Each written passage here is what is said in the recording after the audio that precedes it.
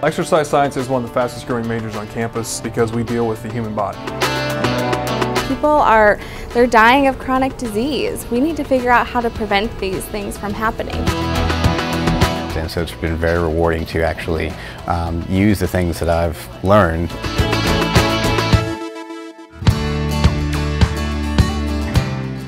Thing about exercise science is that it really integrates all these different disciplines, so physics, chemistry, biology, and it applies it to all these different aspects of exercise. My favorite is exercise physiology because it kind of integrates both chemistry and biology. Students who come to exercise science want to learn more about the human body to prepare them to be personal trainers, to work in corporate fitness, or to go on to professional degrees, nursing school, medical school, physical therapy school, things along those lines.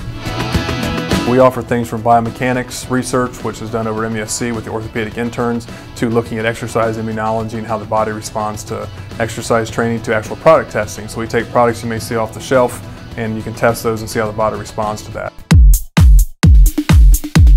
What better job than being a PE teacher and coach? The professors really want that close connection with you. They send so many opportunities that you can do throughout the community to help you with your major. I was able to coach a middle school soccer team last year.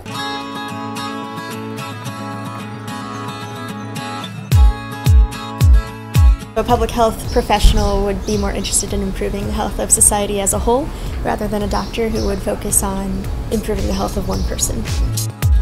You can work at a local or state health department. You can work in a lot of non NGOs, non-governmental organizations or nonprofit organizations that are uh, directed towards health. You can work at the CDC, the Centers for Disease Control and Prevention in Atlanta, the World Health Organization, a number of uh, private companies. You can work for any pharmaceutical company or medical device company in the country or the world. This program prepares you to get a job and then perform at a high level.